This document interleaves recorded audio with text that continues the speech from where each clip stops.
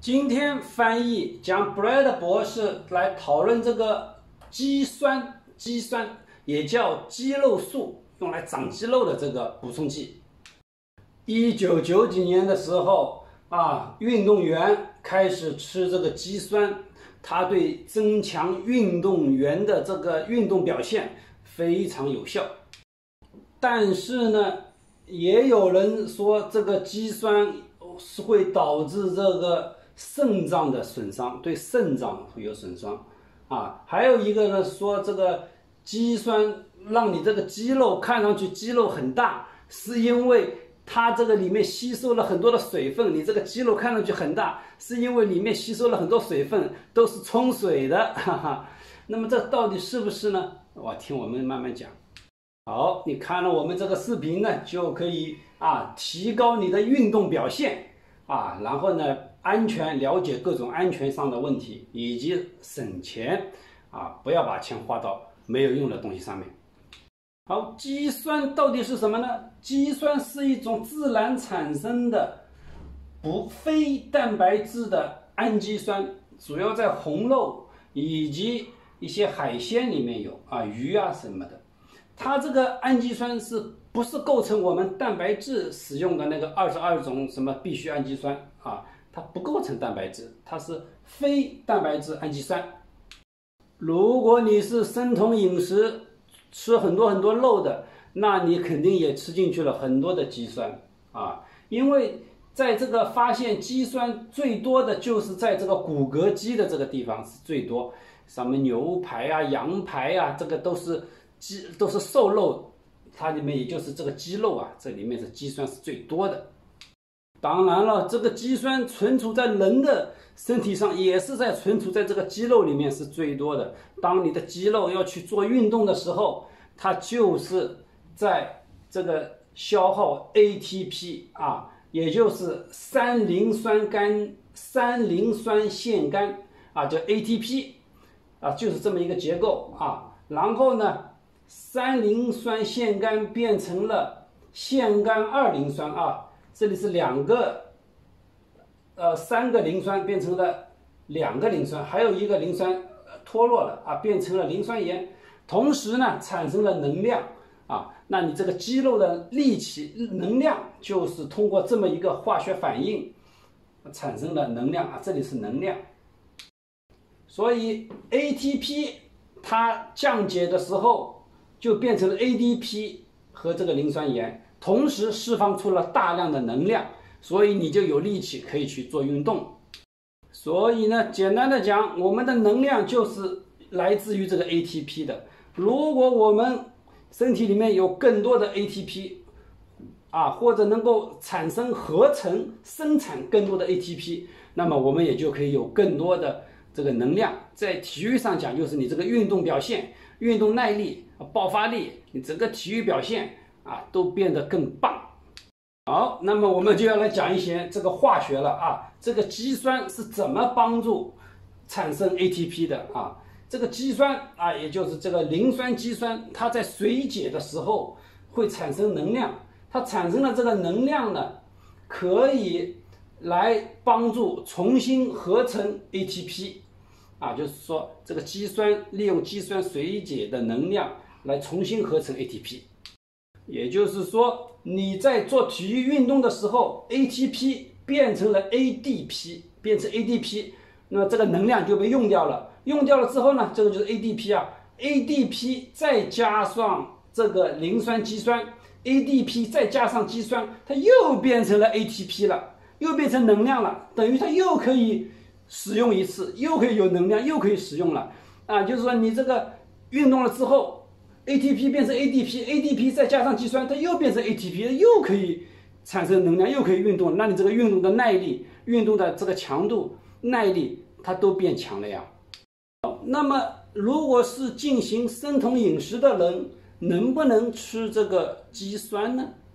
那么，什么是生酮饮食？生酮饮食就是低碳水、非常少的这个碳水化合物。然后呢，脂肪占到了大于百分之七十，百分之七十的热量都是来自于脂肪的，这个叫生酮饮食。所以呢，生酮饮食的目的呢，就是为了减少我们这个血糖的影响啊。你看这个这个黄黄的深黄色的，这个是碳水化合物，你看它对这个血糖飙升飙得很高。黄色的呢，这个是蛋白质啊，倒是比较少。呃，绿色的呢是脂肪，你看它这个血对血糖的影响是最少的，而且它持续的时间长，所以呢，脂肪吃进去了之后呢，你这个能量持续的时间长，碳水化合物吃进去之后呢，血糖一下子飙得很高啊，然后一下子又会变得很低啊，所以吃中饭吃了很多碳水化合物，会变得想要打瞌睡。如果你不想中午打瞌睡，就多吃点这个脂肪就可以了。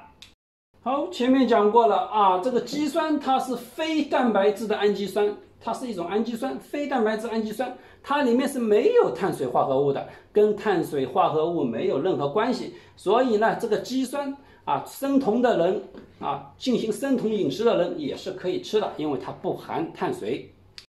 然后我们这个百分之九十五的这个肌酸都是在肌肉里面的，在人的肌肉里面啊，而且呢，我们。每天是需要一到三克的这个肌酸来维持我们这个肌肉里面的肌酸的这个储备量啊。我们这个肌酸从哪里来呢？有一半的肌酸呢是从我们日常的饮食当中呃补充进来。你吃多吃点这个瘦肉、鸡肉啊，这个这个牛排啊这些是精肉啊，多吃点精肉。它里面这个肌酸就很多，就可以补充进来。还有一半的肌酸呢，是我们人体的这个肝脏啊、肾脏合成的，自己合成的这个肌酸，一半是合成，一半是吃进来的。啊，那些吃素的素食主义者，吃素的人啊，他这个肌肉里面的肌酸储存量非常少。他吃素嘛，他不吃这个精肉，所以他肌酸储存的这个非常少。然后这样吃素的人，如果去补充这个肌酸，就会观察到它的肌酸肌酸含量一个大幅的增高啊，可以增加很多，因为它本来就少，所以这个肌酸可以一下子增加很多。那么既然我们一半的肌酸是吃的，还有一半是人体自己合成的，那么我们为什么还要去补充这个肌酸补充剂呢？啊，因为日常的饮食里面每天所含的这个。这个量呢，大概是一到两克这个肌酸饮食里面，然后我们肌肉储存这个肌酸呢，它不能是百分之一百的满仓全仓储存，它大概只能储存到百分之六十到百分之八十的这个仓位啊，就是说这个肌肉这个仓库里面的肌酸不是放满的，只能放到百分之六十到八十啊，所以呢，我们通过一个饮食补充的肌酸呢。大概就是到百分之二十到百分之四十的左右，所以呢，因为这个理由，所以我们这个肌肉里面呢还有很多的这个空余的这个空间，可以用来存放肌酸，可以放更多的肌酸。因为我们讲了，它没有没有满仓，没有全储存满啊，在储存了还有很多空的位置。那么我们通过这个补充剂可以补充进来，放到这个空的位置去储存肌酸。那么储存了这么多的肌酸，多储存肌酸有什么用呢？那么就是在你在运动、体育运动的时候需要的能量的时候，它就能够用得出来。那比如说在古时候，你看到一个老虎来了，你这个肌酸少，你跑跑跑跑跑跑个三分钟你就跑不动了，然后被老虎抓住吃掉。如果你这个肌酸储存的多，你跑跑跑，你可以跑个五分钟，跑个六分钟，老虎也抓不到你，那你就能活下来啊。类似的啊，体育运动里面也是的。啊，你跑本来跑个一千米你就累了，现在你跑个两千米也不累，因为你这个肌酸里面就是能量啊，你储存的能量多了，关键时候要用的时候就能派得上用场。好，那么肌酸还有个什么作用呢？就是可以作为一个抗氧化剂，作为一个直接抗氧化以及间接的抗氧化。因为肌酸补充了之后，减少了人体的这个氧化应激反应，所以呢，作为有这个抗氧化的功能。然后呢，也就可以减少这个身体的炎症。还有一个作用呢，就是它可以增加这个体育运动，尤其是像冲刺、跑步、百米冲刺，它的这个强度以及增加你这个肌肉量啊，练肌肉，想要肌肉长得壮一点、漂亮一点，看上去肉多一点的，啊，这个可以增加肌肉量，以及增加这个体育运动的表现啊，你跑得更快，跑的时间更长。对于那些需要冲刺的、冲刺型的这种体育运动，它是很有好处，以及那种可以需要当中有恢复过程的这个体育运动也是有好处的。比如说，我可以呃，像那个什么打球啊，打打打一场之后可以休息个十分钟啊，然后再打第二场，然后再休息十分钟，再打第三场。在这个休息的阶段，你身体里面的这个肌酸就可以。产生化学反应去制造更多的 ATP 了啊，对吧？所以这个肌酸它对那些冲刺型的体育运动，以及对这个强度型的，就是讲力量强度的体育运动是有帮助的。但是它对这个耐力型的体育运动帮助不大。比如说像马拉松，马拉松中要不停的跑，不停的跑，跑很长时间，它对这种运动的帮助不大。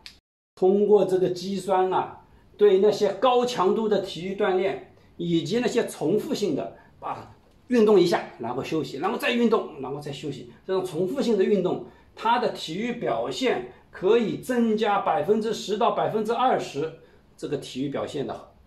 不仅仅是体育表现啊，而且肌酸可以帮助你从高强度的体育运动当中恢复。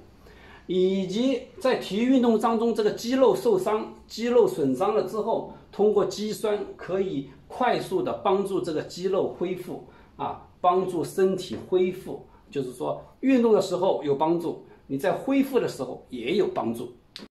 不光光是身体的体育运动啊，你如果是脑力运动，如果你去参加高考，如果你去参加围棋比赛、象棋比赛。或者参加数学奥林匹克那些要动脑子的活动，这个肌酸也可以帮助大脑有更好的表现啊。大脑因为也要消耗能量的嘛，而且它里面有些物质可以帮助大脑这个神经信号的运作啊，对大脑也是有作用的啊，就可以那个减少这个大脑的疲劳啊。所以动脑子的人也可以通过肌酸来增加脑子的表现。这个肌酸对抗衰老有什么用呢？啊，少肌症就是年纪越大，肌肉萎缩，肌肉就越来越少。年纪越来越大，你的肌肉就越来越少。这个就是跟年龄相关的，这个肌肉会越来越少。那么通过这个肌酸呢，可以增加肌肉啊，增加肌肉。那么这样就是通过增加肌肉来达到一个抗衰老的作用。还有呢，就是老年人肌肉少了之后，肌肉的力量也少，走路啊，走着走着不小心就摔一跤啊。不是说摔跤本身没什么，摔跤导致了之后什么摔摔破了，呃，骨折了，骨折了之后又引发什么引引起什么并发症，然后就一命呜呼了啊。我的爷爷，我的爷爷大概在七十岁。过生日的时候，大家聚在全家聚在一起吃吃喝喝，啊，然后他一个人啊出去小便，小便的时候摔了一跤，其实摔跤也没什么，但是摔跤了之后摔了骨折了，骨折了之后到医院去治疗，然后这个骨折这个本身又引发了什么炎症啊，引发了身体的其他的并发症，结果就去世了。所以啊，这个肌肉少，没有肌肉，没有力量，容易摔跤这个事情。对寿命、对长寿是一个很大的威胁。那么少肌肉的人，可以老年人可以通过这个肌酸补充来增加肌肉的力量和肌肉的数量。讲了这么多好处，再来讲讲它的风险啊。前面讲过了，这个有些报告啊，在这个研究里面就是说，有些案例啊，说这个肌酸增吃了之后呢，会导致这个肾脏。功能的异常，肾脏功能异常有一些案例，因为那个只是一些案例啊，但那后来又进行了更多的其他的研究，其他的研究包括动物啊、人啊，反复的研究发现呢，没有足够充分的证据能够证明这个肌酸的补充剂会啊导致这个肾脏的功能出问题啊，就是说证据不足，它对肾脏的伤害。就是证据不足，还有呢，就是说这个吃了肌酸之后呢，会导致这个体重增加啊，这个我觉得也是有可能的。你肌肉的量都增加了，你这体重还不增加吗？啊，所以呢，总的来讲呢，基本上这个肌酸呢是安全的。布莱德博士认为，那么这个怎么个吃法呢？布莱德博士他个人是每天吃五克五克的这个肌酸啊，然后慢慢的来增加这个肌肉里面的这个肌酸的储存量，慢慢的增加，这样比较安全。你一下子吃太多的话，可能会有一些不良的副作用啊，所以慢慢的增加。如果啊，这一天你是要健身的、体育锻炼的啊，那么它呢是在体育锻炼之前吃二点五克的肌酸，体育锻炼完成了之后再吃二点五克的肌酸。然后这一天如果你没有体育锻炼呢，没有体育锻炼的时候呢，他 bread 呢，他仍然还是吃五克的肌酸，因为它这个肌酸还可以帮助这个肌肉恢复嘛，对吧？好讲好了，这个布莱德博士他是吃了一天五克的肌酸，那么我我的观点是，我是没有吃，我也不想吃这个肌酸啊，因为虽然是看到了计算有很多作用，主要是用来增加肌肉，增加肌肉的力量啊。那么我现在觉得这个年纪四十几岁还没有到非常迫切啊，我觉得，因为否则要吃的话，要吃的东西太多了，这个东西呢。它还有一些抗氧化啊，增加肌肉啊，我觉得它在这个抗衰老的整个这个图画里面，它的这个作用不是特别的大，所以我汪先生个人呢，我没有买肌酸，也没有吃肌酸，也不打算买，也不打算吃。那么你是什么看法呢？你是吃肌酸还是不吃？买还是不买呢？欢迎把你的看法给我们大家交流啊。Brad 博士他是吃的，我是不吃。那么你是怎么样呢？每个人观点都不一样，看法都不一样啊。因为我觉得这个肌酸它对抗衰老这个目的、